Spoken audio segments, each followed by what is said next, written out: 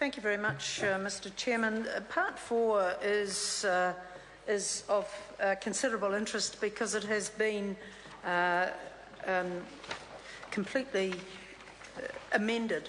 Every clause, every line of it is in the version of the bill that I have in front of me is is a, a tracked version, revised tracked version.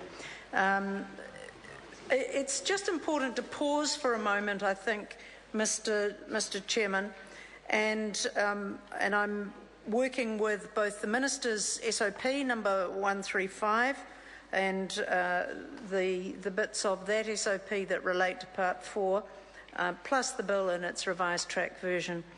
Um, it's because this has been a long time um, between games, I'll say. Uh, it's been a long time in the process of working its way through this House.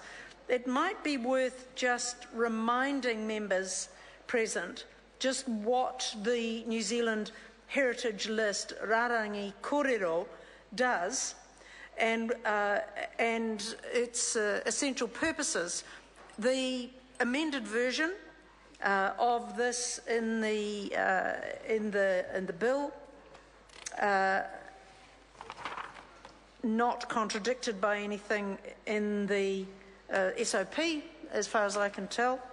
But the, the essential purpose, uh, purposes of the New Zealand Heritage List, Rarangi Korero, are to inform members of the public about historic places, about historic areas, uh, Wāhi Tūpuna, Wāhi Tapu, um, and Wāhi Tapu areas. In other words, those areas that are sacred have some historic significance, uh, that have some ancestral connection and, uh, and are sacred because they may be uh, uh burial places or of similar uh, um, spiritual and significant importance to, uh, to Māori and to those who live near them. But it's also to notify the owners of uh, historic places and historic areas and all of those others I've just mentioned as needed um, for the purposes of this Act and to be a source of information about these places. So the New Zealand Heritage List becomes a register of those places that are of critical, um, historical, and um, national significance. Mr. Mr. Chairman, I don't think it's overstating the issue to say that these are important to New Zealand's identity uh, in the same way that um, uh, tikanga Māori, uh, taha Māori, are important to my identity as a New Zealander.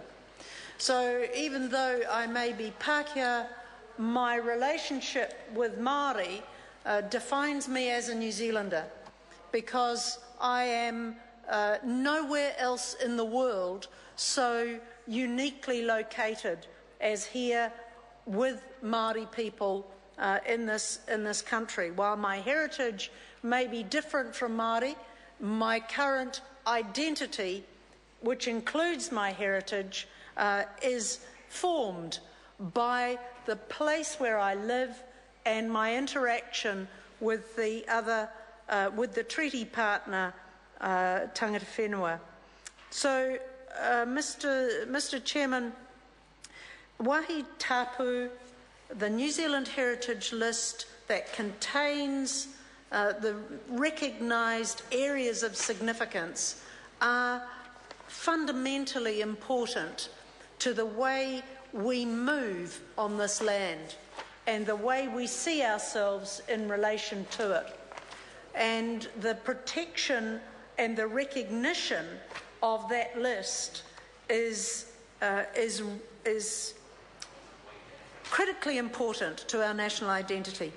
It is not possible to overstate this. While I may be labouring the point somewhat, Mr Chairman, it is not possible to overstate this. The Minister will know from his assiduous work on treaty negotiations and the, uh, the hui uh, that he has attended up and down the country The celebrations, Mr Chairman, Mr. Maryan Street. the celebrations, the commemorations, uh, the functions of one kind or another that he has had the privilege of attending on many, many marae around the country, he will understand uh, the emotional and spiritual significance for Māori of the, the places of historical, cultural, and ancestral significance.